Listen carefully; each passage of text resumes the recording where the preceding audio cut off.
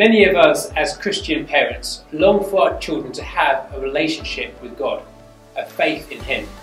Raising Faith is an evening exploring why and how we, as Christian parents, can inspire a faith that lasts.